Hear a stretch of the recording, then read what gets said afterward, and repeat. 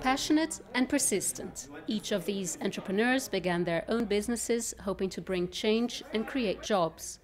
They are some of the entrepreneurs who sought advice at Branson Entrepreneurship Center. The selection at this center is thorough. Only those who have operating businesses are recruited. What we try and do is give them the fundamental skills to run a business properly.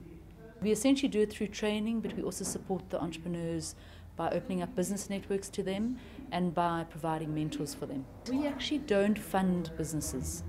Okay, so we, we partner with organizations that can assist entrepreneurs with funding. Vuisa Motlabani is one of the aspiring entrepreneurs who was coached to better market her online bridal shop. The center um, helped me because I was on the verge of actually quitting um, this entire business because I felt that um, I'm just now going down in failure. What they helped me, they helped me to be able to identify the right market for me to target that really made a change within the business.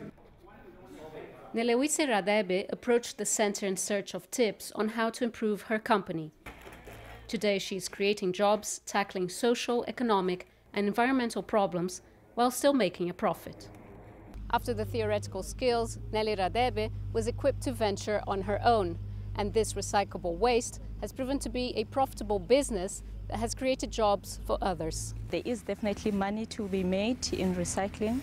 We have employed four people who also have a background of being waste reclaimers. They call them the trolley guys, they call them.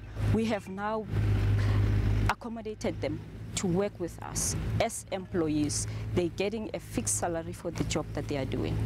Creativity and willingness to take risks brought her down this path, but it hasn't always been easy. You know, it's not easy to be an entrepreneur. You sleep late, you wake up early sometimes. In a country where one in four is unemployed, these companies are proof that small firms can make a very big difference. Julie Scheier, CCTV, Johannesburg.